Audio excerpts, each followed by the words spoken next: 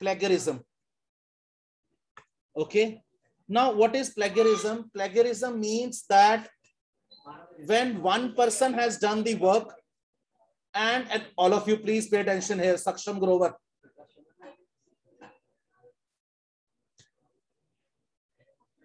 One person did the work and other person steals that work and represent that whether as if the work has been done by him. In simple terms, you can say plagiarism means copying someone else's work. And when you are copying the work, you are representing it, it is your own work, and you are not citing the source. Citing the source means who actually is the real creator of the work. You are not citing that person's name. Clear? So what is plagiarism? It refers to stealing someone else intellectual. Daksh, you're most welcome to leave the class and switch off the internet. It refers to stealing someone else's intellectual work and representing it as your own work without citing the source of information. The source of information means the real creator of that information. Now, under which situation we say that plagiarism has occurred? First case, using some other's author work without giving credit to him. You have not mentioned the source, you have not given any credit to the real creator, and you are using his work. That is the case of plagiarism. All the backbenchers, very shortly, I'll be asking questions from you all. Stop looking into your PCs. Pay attention on the LCD.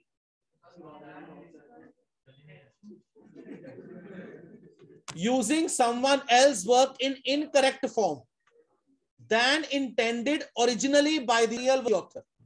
Whatever the real work was, that real work has been modified into some incorrect form.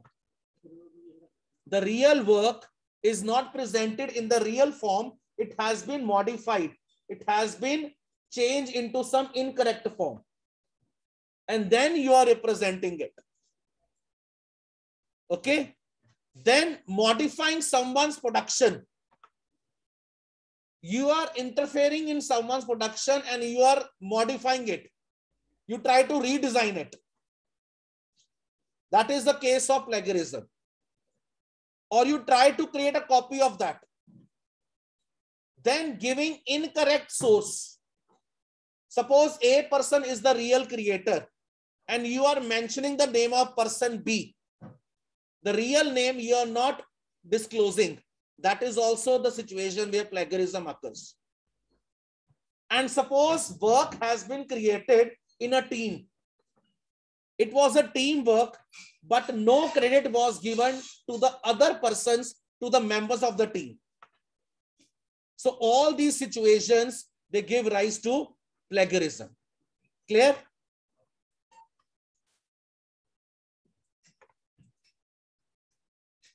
Then the most important question is how we can avoid plagiarism. Laksh, be attentive and be careful. Cite your source. From wherever you have picked the information, whether from any book, whether from any website, mention the book name or mention the URL of the website. Right? That from this source, I have picked up this particular information. Then include the quotations of another person's actual spoken words. You might have encountered so many times that when you uh, read thoughts from internet, thoughts given by famous poet or famous author, they are always enclosed in quotes because they are actually spoken by them. In your science book, you come across so many definitions given by famous scientists that definition is always enclosed in quotes. Okay, because that definition is actually created by that person only. Right? Using a plagiarism checker. Use a proper tool that should check that whether plagiarism has occurred or not. Clear? Now, the last part of this portion is digital property rights. A very simple example I would like to give you and you will understand the meaning of digital property rights. All of you are on Instagram, all of you are on Snapchat, Facebook, almost all social medias. In every social media, what is the first step? You create your profile. Sometimes uh, the form that you fill to create file is too long. Sometimes it's a very short form that you have to fill and you create your profile and you enter in that media. Okay. And then you implement it. You put your status, you put your photographs. Okay. You access other person's status. This information about you, which exists online, is digital property right. DPR, right? So what is DPR? Refers to any information which is concerning you or created by you and which exists online. Now, in what cases DPR exists? What all DPR includes? Any online personal account. You have your Instagram account, that is your personal account. Okay. Suppose you have uh, create your ID in some education website. That is your personal account, right? Social media accounts, Snapchat, Facebook, Instagram, shopping accounts, maybe Amazon, Flipkart, whatsoever. Okay. Then photo and video sharing accounts, video game accounts, IPR, uh, intellectual property, or any blog you create. Blog, you understand? Online, just like online diary. Many persons, they're in habit of writing diary. Whatever daily things happen, they note in a diary. Blog is online diary, where you share your thoughts with each other. Okay? Now the legal rights of DPR, they lie with the owner who has created. You have full control over your profile because you have created your profile. You are the real owner of that. Okay. Only the owner can decide who all and in what form can the digital asset may be shared with the other.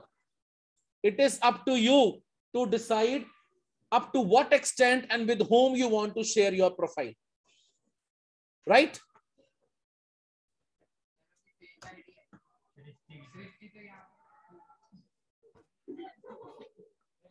Leave these things. Then is threat to digital property rights. What are the common threats to digital property rights? First is digital software penetration tools. Sometimes what happen is that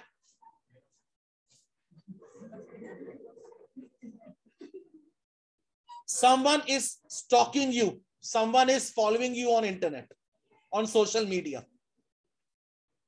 Someone is keeping an eye on you and is trying to crack your information.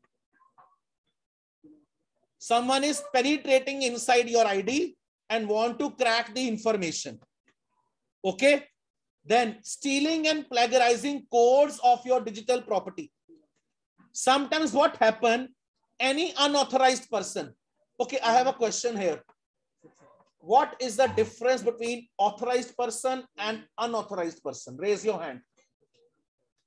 Authorized person and unauthorized person. Yes, Daksh. You tell what is authorized person. Authorized person with true ID, with the legal ID, who has right to access that account. That is the authorized person.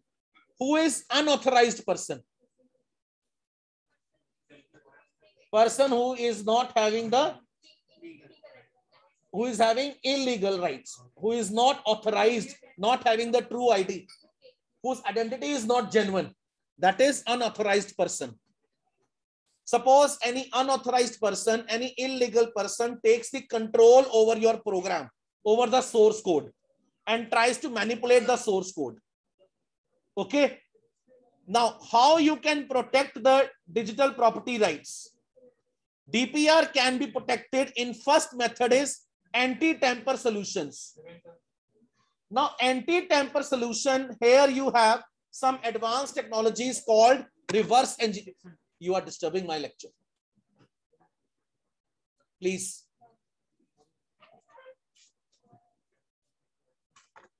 Reverse engineering. Now, what is reverse engineering in cyber security? Suppose uh, one survey was conducted, one check was conducted, and any organization find fault in the work. कि मेरे इस काम में कुछ malware attack हुआ है some malicious uh, activity has taken place. Okay? One thing that we find error in our work. Then we try to create the codes. We try to remove the error and to bring the situation to normal. One thing we detect errors. Some malware attack maybe virus worm hacker any any malicious activity has taken place. We try to break that and to bring the situation to normal. That is called reverse engineering. Okay. Legal clauses. Whenever we create terms and conditions for a software, we put some clause, some legal clause that prevents the misuse of that software that nobody else can create the copy of your software. Okay. Limit the sharing of the software code. Like I told you, it is up to you to decide how much information you want to share. Only the relevant part must be shared. You should not disclose all the hidden details. Right? Now, this is a difference picture, difference between copyright, trademark, and content. Sorry, patent. Okay. Now, I quickly read the main, main points. Copyright. Protection is automatically granted to the author for their original, creative, or intellectual work. I told you yesterday also. Copyright is on intellectual, artistic, or any literary work trademark, that registered logo, which differentiate between the products. This is a brand element which distinguishes the goods and services from other competitors. And patent. This concerns obtaining protection for new inventions. Always remember one thing, patent is always on the invention. Clear? Now, what all works are copyrighted? Books, lectures, dramatic, musical work, cinematography, drawings, paintings, architecture, maps, plans, sketches, any architecture, okay? Then trademark, any word, मान लो किसी company ने अपना N नाम का लोगो बनाया या कोई word लिखा है हॉरिजन हॉरिजन वर्ड है वो लोगो है उस कंपनी का राइट right? यहाँ कोई ग्राफिकल सिंबल है clear now it may happen that every logo differs in size shape and color. Clear? Now patent. Novel or original has an inventive step and has some industrial application. Now the most important thing is validity. Yesterday somebody was asking me about the validity time of copyright or patent. What is the valid time for copyright? Registration not mandatory. It is not compulsory to register your copyrights, but recommended. Compulsory नहीं है, but recommended है कि आप करवाओ. Valid through lifetime of the author. Suppose I wrote one book. I have full copyright on it. So till my lifetime, I have the rights over that book. Okay Owner has protection in most countries.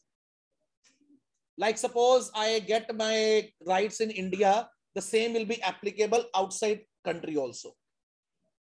Trademark 10 years, which can be made perpetual as long as renewed after 10 years.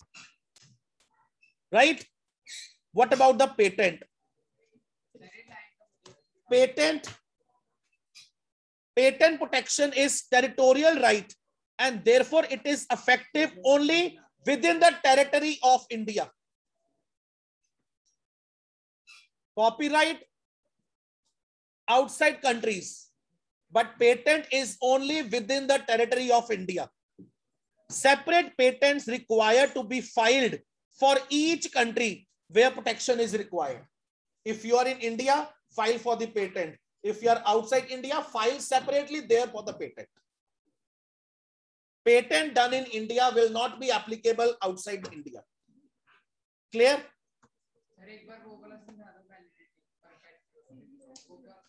Renew. Uh, suppose your password exp uh, passport expires, you renew it. License expires, you renew it to get the fresh copy again. Okay. So this by this I come to end of cyber ethics part one. Clear? Part one portion is completely finished.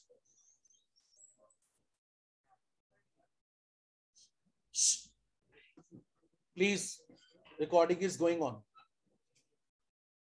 Now this is stage two, part two of cyber ethics. We are going to study about open source softwares. Okay. Now by name, it is very much clear what is open source. A software which is free. Okay. A very nominal amount you have to give, very nominal. You can share it freely among each other. You can distribute it and where source code is available. That software is termed as open source software. And where you don't have much restrictions and where not much conditions are imposed on you. Clear? That software come under the category of open source software. Clear? So broadly speaking, the term open source refers to those categories of software whose license, first, first point, does not impose much conditions whenever you study open source कुछ बातों का ध्यान रखना। Freely available easily shareable easily modifiable distributable source code is available and where restriction are not much clearly वो open source है। और अगर वो फ्री प्लस ओपन सोर्स है that comes in the category of loss F L O S S okay? Such softwares generally give users the freedom, number one, to run the software, to modify the program, to redistribute the copies. One is you can use that software.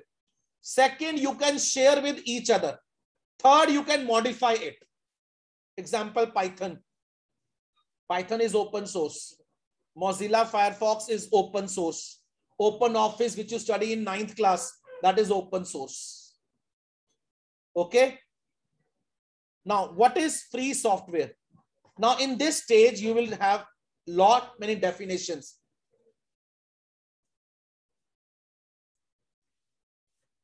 So what is free software? Now the term come free software. A software main main feature padho inke main feature kya hai? Freely available?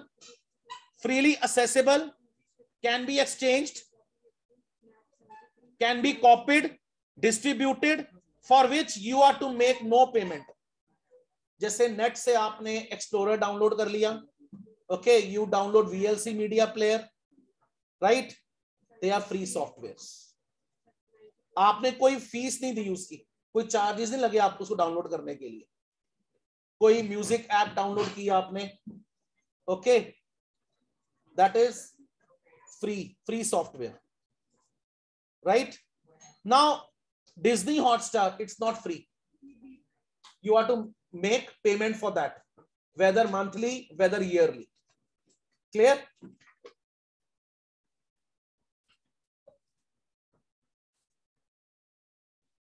Now, now famous author Richard Stallman, he has given definition of free software. Now this is, see, the definition actually given by this person. So it has been enclosed in quotes to avoid plagiarism. Free software is a matter of liberty, not price. To understand the concept, you should think of free as in free speech. Means the user has given me, user ko freedom de di Free to run, free to copy, free to share, free to distribute, free to modify. Okay, clear? All these features they comprise and they make free software. Clear? Up till here, lecture is clear totally. Online class topic is clear. Hasita, Bisam, Jia. All right.